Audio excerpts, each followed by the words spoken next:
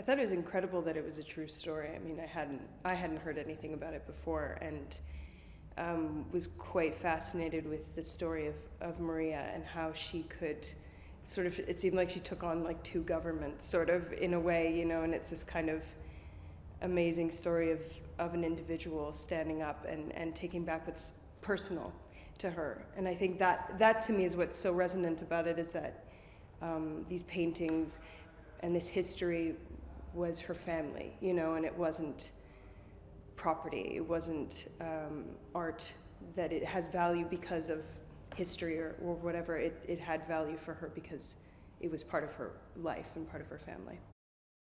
To be in Vienna and to be shooting in these locations and um, you, you get a sense of the history here and, and so it's I mean, you really don't have to do anything. It's all just there. You know, it's alive in the in the ground. It's in, alive in the people. It's um, very much present, and uh, yeah, it's it's an absolute joy and horror to film. You know, you you sort of, I'm struck constantly by by the the images and how visceral they are, and how seeing the flags up on the street outside of the Rathaus, and it's it's just shocking. This is a very small scene. It probably meant nothing to her, but I got to look in the mirror at Helen and we just smiled at each other and that was literally all it was but for me it was you know getting to look you know as, as the character obviously it's sort of this out of out of time moment but but for me as an actor just to get to sit there and, and look at helen mirren and, and be present with her it was you know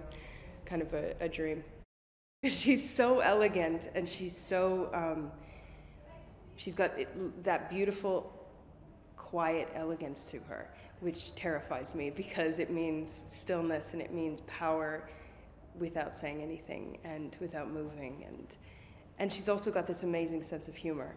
So, so she's got this incredible, you know, dynamic within her. And, and I've always looked up to Helen. I've always, always looked up to her. And, you know, sort of seen her as the pinnacle of what, what it is to be an actor.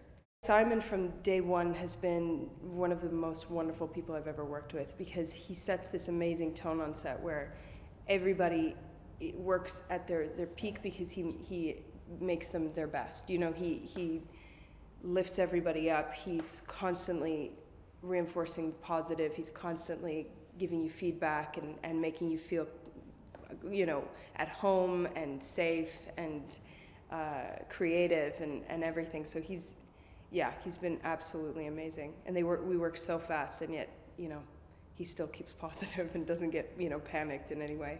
And he has such a passion for the project and such a passion for storytelling and for characters and for um, this sort of enormous narrative of this of this film and, and really understands the the personal aspect of it.